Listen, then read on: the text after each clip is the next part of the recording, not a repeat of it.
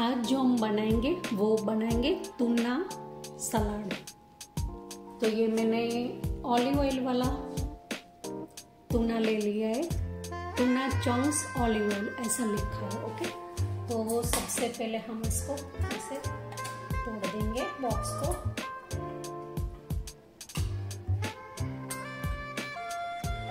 और ऐसे देखो ओपन कर देना है। ये बहुत हेल्दी है। अभी जो वाटर है यहाँ पर, वो हम निकाल देंगे। तो इसके लिए यहाँ पर अभी ऐसे बंद करके वाटर को टोटली निकाल दूँगी मैं। ये ऑलिव ऑयल है, लेकिन मैं निकाल दूँगी। वाटर हमें नहीं चाहिए, क्योंकि मैं सलाद बना रही हूँ। अगर आप और कुछ बना रहे होते तो आपको ये चाहिए।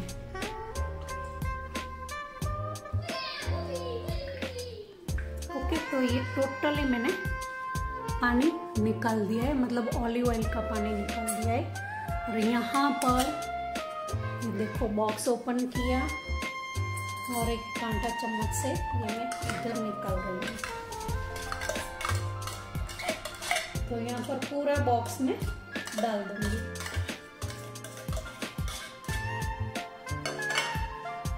ओके? okay?